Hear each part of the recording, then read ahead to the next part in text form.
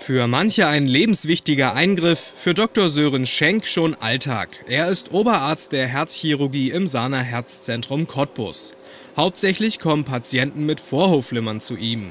Nach Angaben der Deutschen Herzstiftung leiden allein in Deutschland 1,8 Millionen Menschen daran.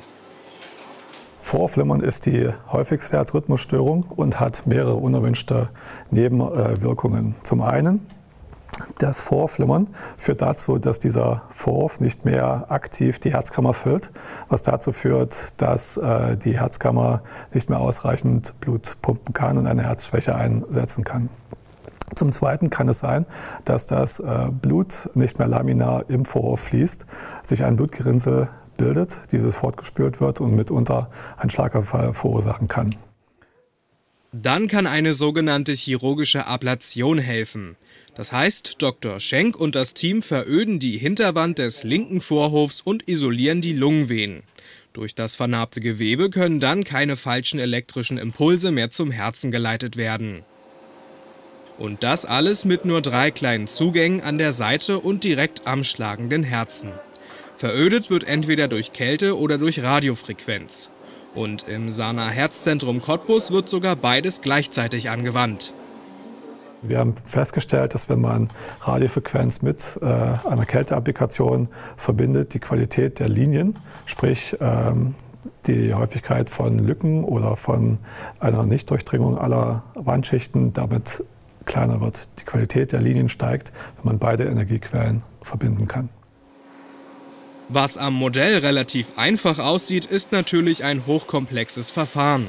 Das Sana Herzzentrum in Cottbus ist eine von nur drei Kliniken in ganz Deutschland, die die thorakoskopische und Convergent-Ablation gleichzeitig durchführt.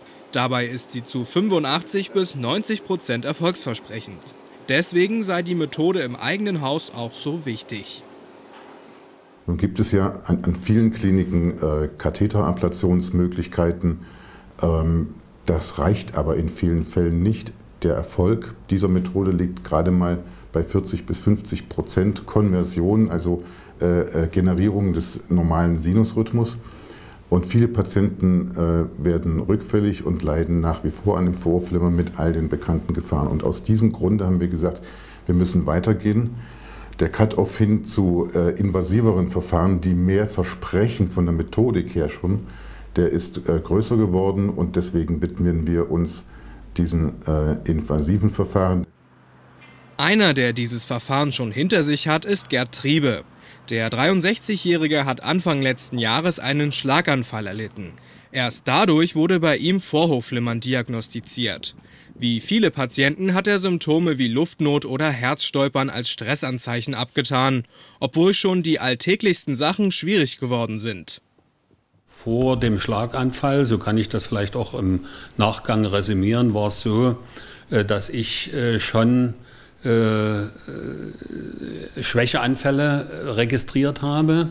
Also dass die Belastung auch bis hin zum Treppensteigen schon problematisch geworden ist, also Luftnot teilweise vorhanden war. Gerd Trieber hat zusätzlich ein Aneurysma im Kopf. Die Blutverdünner, die nach dem Schlaganfall verordnet wurden, sind da kontraproduktiv und könnten mit der herkömmlichen Katheterablation nicht abgesetzt werden. Deswegen musste im letzten Mai der chirurgische Eingriff her. Und bis jetzt hat es sich für ihn gelohnt. Ich gehe davon aus, dass auch im Zuge jetzt, ich sage mal, der weiteren Betreuung und der weiteren Maßnahmen ich äh, zumindest dann äh, auch langfristig von der Medikation her ein Stück weit äh, besser eingestellt werden kann, also insbesondere der Blutverdünner reduziert werden kann. Und das ist für mich eben auch Lebensqualität, die damit im Zusammenhang steht. Jetzt ist Gerd Triebe nochmal zur Nachuntersuchung hier. Patienten können nämlich, wenn alles gut verläuft, fünf bis sieben Tage nach der Operation schon wieder nach Hause.